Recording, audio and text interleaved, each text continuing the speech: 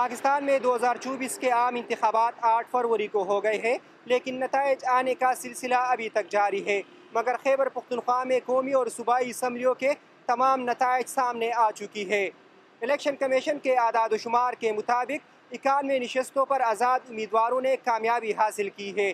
جو پاکستان تحریک انصاف کے حمایت یافتہ ہے۔ اسی طرح جمعیت علماء اسلام نے سات مسلم لیگ نون نے پانچ، پیپلز پارٹی نے چار اور پی ٹی آئی پارلیمنٹیرین نے دو نشستوں پر کامیابی حاصل کی ہے۔ جماعت اسلامی نے تین اور عوامی نیشنل پارٹی نے ایک نشست حاصل کی ہے۔ قومی اسمبلی کے پینتالیس نشستوں میں اٹھتیس پر پاکستان تحریک انصاف کے آزاد امیدواروں کو کامیابی حاصل ہوئی ہے۔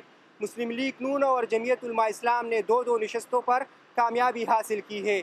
اور متحدہ وحدت المسلمین اور پاکستان پیپلز پارٹی نے ایک ایک نشست اپنے نام کی ہے۔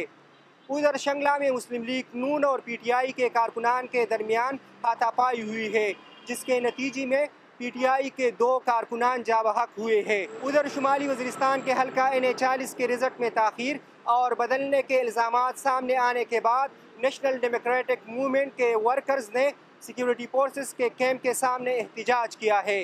اور فائرنگ کے تبادلے میں این ڈی ایم کے چیئرمین محسن داوڑ زخمی ہوئی ہے جبکہ اس پارٹی کا ایک ورکر جاں بحق بھی ہوا ہے۔